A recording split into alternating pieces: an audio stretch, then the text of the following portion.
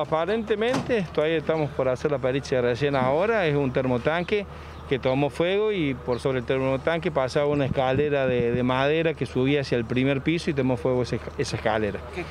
¿Qué, cantidad de bomberos y qué cantidad de, unidades? Y unidades vinieron las cuatro ambulancias, una autobomba, la escalera mecánica y si te pongo sumar no los tengo, pero más o menos 30 había. ¿Cuántas víctimas se trasladaron, Gustavo?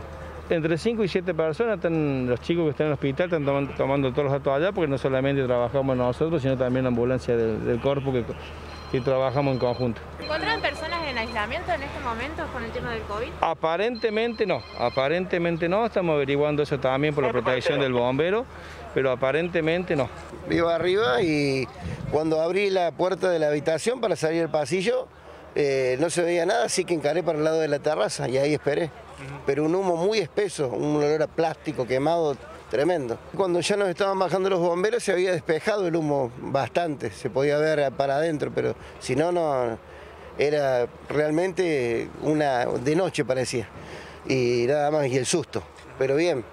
En principio habría explotado un termotanque, pero no podemos dar mayores precisiones hasta tener el relevamiento del lugar y que la gente que va a realizar las pericias de rigor eh, nos den los resultados sobre lo mismo.